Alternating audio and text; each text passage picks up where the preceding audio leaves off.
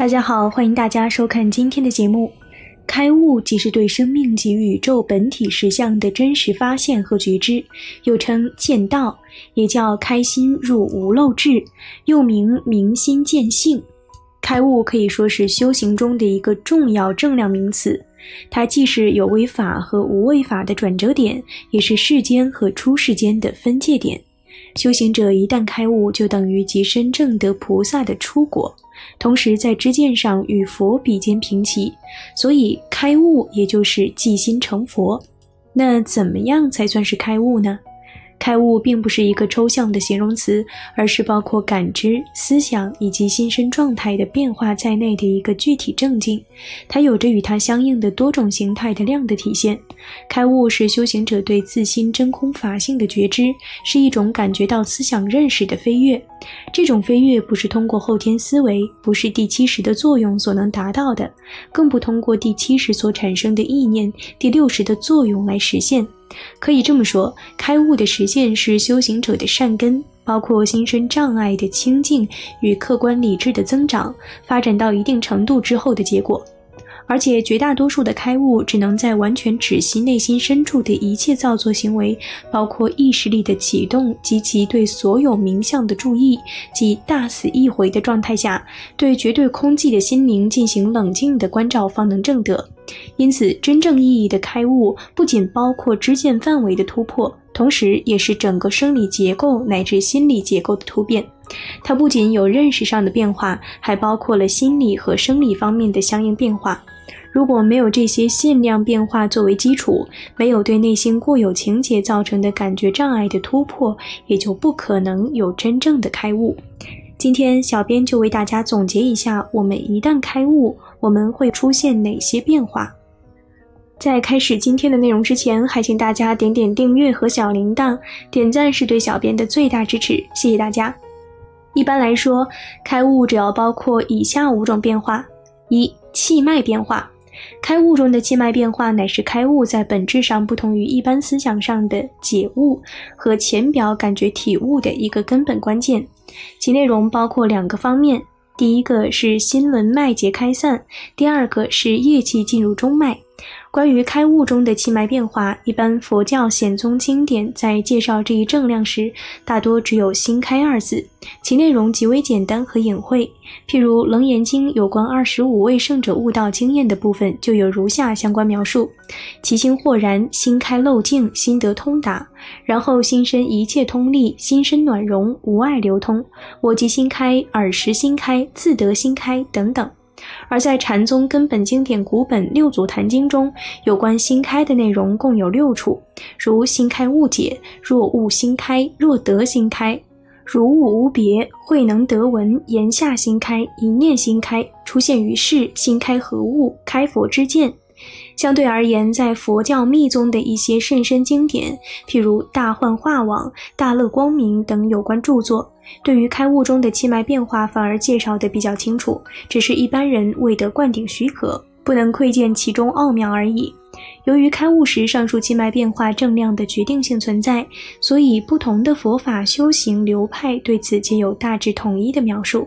譬如入流、入心、入中、登地、同底脱落、花开见佛等等。由于心轮打开后，修行者在的心气合于中脉中客观存在的与万物本体同样不二的真空体性，所以开悟密宗又称作正入空性，显宗则称作正佛法身，禅宗则称为开启真空如来藏，得见本来面目。二、知觉变化。开悟的知觉变化包括知觉能力的变化与觉知范围的变化。一般没有开悟的众生，他们感知能力一般是受业气支配的，其感知具有方向性、起灭性、局限性、虚幻性。借由这种感知所获得的感觉，佛家一般称之为偏执觉、错觉或者幻觉。对于开悟者来说，由于业气进入中脉，融入中脉真空法性，而转变成明空智慧气，这时他们的感知能力也会发生相应的突变，即会从原来的有生灭、有方向、有障碍的感知，而转变成为恒常的、遍察的、通彻无碍的感知。这也就是佛家所提倡的正觉的产生。由于正觉的获得，开悟者对心身内外的事物会感觉到特别清晰和透彻。对此，《楞严经》的相关描述是：观见十方，精震动然，如观掌果，离垢消沉，法眼清净，心见发光，光极之见，见觉明圆，见身微尘，与造世界所有微尘等无差别，心身发光，动彻无碍，十方圆明等。对此，禅宗的六祖坛经及其他有关祖师的著作中都有大致相同的描述，譬如内外明彻、动然明白、心净明、见无碍、阔然盈彻周沙界，以及盈晚胜雪、明月藏露、露丝丽雪之类的比喻等。与此相反，在佛教密宗与净土宗中，对于开悟也各有得见明体与心地开明之说。因此，在真正的开悟者法眼中，一切事物仿佛全部是透明的。他们一般都能够无碍地观察到心身内外存在的烦恼现象，以及一般众生的修行状态，并能有效地帮助有缘众生改变心身状态。所以，密宗又把开悟叫做正德转法轮智，这一点也是古代名师能够观机而教的奥妙所在。禅宗之所以被称作正法演藏的秘密，缘由也在于此。三、心态变化。开悟过程中，心间脉轮的打开，乃是修行者的心身障碍心境到一定程度后，内在善根的增长从量变到质变的结果。心轮的打开，本质上也就是修行者心灵深处所有的意识情节的解脱与内心烦恼的终结。由于这一关键性的变化在心轮打开的同时，开悟者的心灵会感到一种彻底的轻松。此时，随着液气进入中脉，融入空性后，心身紧张的消除，开悟者的整个身心会立刻感觉到一种极度的轻松与喜悦。这种轻松与喜悦，甚至可以弥漫到全身的每个细胞和每个毛孔。因此，在《楞严经》《楞伽经》等经典中，开悟所达至的见到位，通常叫做极喜地。这种极喜的境界，也就是隐藏于我们内心中的西方极乐世界。由于心轮脉结的开散和液气进入中脉融入空性，开悟者在开悟后的一段时间内，其内心一般都会自然安住于这种空乐之中。这时，由于心结的开散，开悟者的我执力被消除，其本身也很难升起心力或者念力来打破这种空乐，也包括难以用念力、神通帮助他人，除非得更高修为的名师指点，否则很难升起大机大用。由于这种原因，开悟者的内心会长期沉浸在空乐之中，不会因一般外来刺激而引生烦恼。这种心态，也就是佛家所说的涅槃。这种自然不受外在影响的状态，也就是佛家所说的解脱和无生法忍的状态。四、气质变化。开悟者的气质变化，准确地说是一种气质隐化。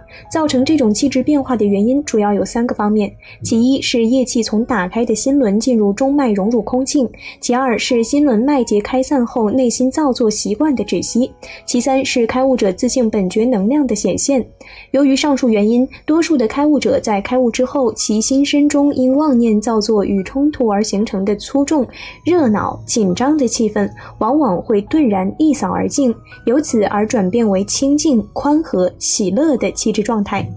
这种清净喜乐的气质，不仅能使开悟者自身时常体会到一种清净喜乐的感受，由此恒久的不离内心的自在与安乐。对于一些诚心亲近开悟者的有缘人来说，这种气质往往也会显现出极大的感染作用，并使他们内心的烦恼顿归熄灭，由此转变为宁静和欢喜。由于这种现象的存在，所以开悟也被叫做登清凉地。五、形象变化，开悟者的形象变化是由内在的气脉变化与心态变化造成的。一般来说，相对小乘道的开悟者而言，大乘菩萨道的开悟者的相貌变化更加明显。由于心间脉结的消除，业气融入中脉空性法身，开悟者心身压力及其紧张作用的消除，以及内心造作行为的终止，开悟者心身从此进入极大的平衡状态。通常情况下，开悟者的心身状况会因此发生极大的改变，许多宿疾会自然不药而愈，身体健康出现明显好转。其肌肤会变得柔嫩，脸色会变得圆润，目光会变得清澈。原有性格习惯所显现的面部特征，譬如横肉、皱纹等，将逐渐淡化，而部分显现出童子般相好而且庄严的相貌特征。开悟并非神秘莫测，它是佛法修行过程中的一个阶段性的成果，有着多种具体的正量体现。开悟并非高不可攀，只要善根足够，方法得当，许多人即生都可以获得。这一点，佛陀时代就有许多人已经用事实加以证明了。开悟其所证者，只是自性法身，仅仅是报身与化身修正的开始。开悟之后，显宗还要修正十个大的次第才能圆满；禅宗还要经过向上、宝刃、除习，使践行打成一片，才能产生大机大用；而密宗更有形形色色的报身与化身成就法需要修正，这些都是我们修行中所必须正视的和不断努力的。好了，今天的节目就和大家分享到这儿了。不悟道，如何修道？修的是什么？不认识自己，如何修自己？修的是谁？道是究竟的、彻底的、本自圆满的。道是悟的，不是修的。所谓先修行而后悟道，实际上是一种误导，是建立在我执上的法执。谁在修？我是谁？这才是作为修行者首要解决的问题。